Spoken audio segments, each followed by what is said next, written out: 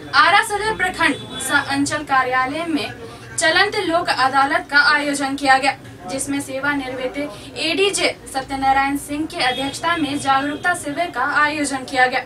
इस लोक अदालत में आरा सदर, कोइलवर, उद्वन नगर तथा बढ़ारा प्रखंड से संबंधित वादों का निष्पादन कराया गया।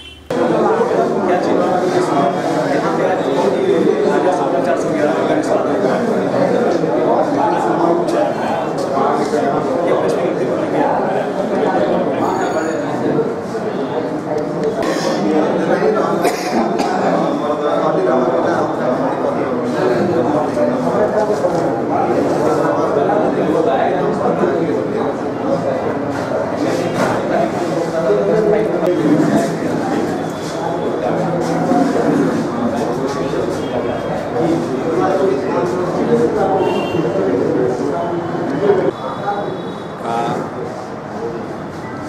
शुरुआत।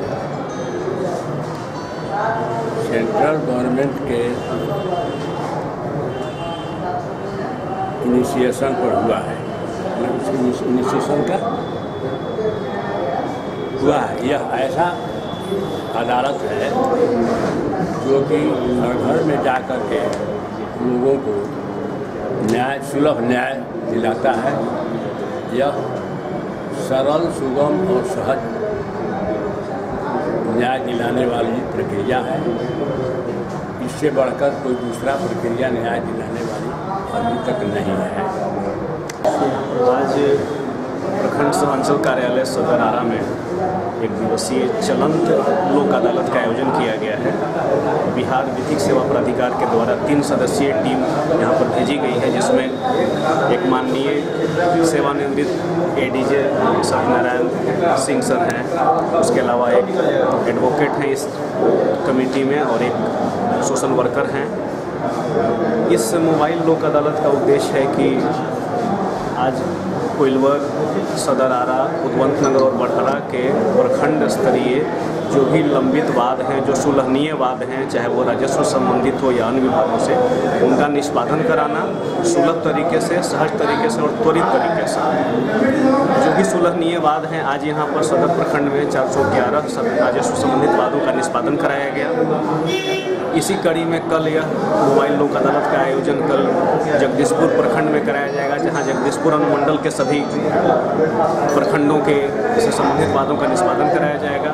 परसों यह सात तारीख को पीरो प्रखंड कार्यालय में आयोजन किया जाएगा, जहाँ पीरो अनुमंडल के सभी प्रखंडों से संबंधित वादों का निष्पादन कराया जाएगा। इसका उद्देश्य यही है कि लोगों को कोर्ट नहीं जाना पड़े, बल्कि कोर्ट आज लोगों के बीच प्रखंड में आकर बैठी है। तो जो भी लंबित वाद हैं सुलहनीय वाद हैं, उनका निष्पादन त्वरित करवाया जा सके। न्यायालयों में, विभिन्न न्यायालयों में जो लाखों की संख्या में जो वाद लंबित हैं, उनको निष्पादित कराना, उनकी संख्या कम करना ही इसका उद्देश्य है।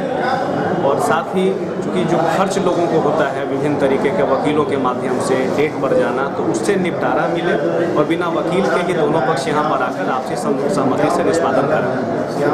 और इस कड़ी में जैसा कि आपको, आप लोग भी जानते हैं, आठ तारीख को स्थायी लोक अदालत, राष्ट्रीय लोक अदालत का आयोजन होना है सिविल कोर्ट में। वहाँ भी सभी विभागों से, चाहे वो बैंकिंग हो, इंश्योरेंस कंपनी से संबंधित हो, श्रम से संबंधित हो, परिवहन से, माइनिंग से, सभी वादों का निष्पादन कराया जाए। तो माननीय जो जिला जज हैं उनकी अध्यक्षता में और डीएम साहब की अध्यक्षता में सभी को निर्देश दिया गया है कि अधिक से अधिक सुलभनीय वादों का निष्पादन कराएँ प्राथमिकता के आधार पर जिसके लिए हम लोग यहाँ पर आज उपस्थित हैं और लगातार यह तीन चार दिन प्रक्रिया ये जारी रहेगी पर्चे बता दिए सर? मैं श्रम अधीक्षक राकेश रंजन। पर्चे बता दिए सर? मैं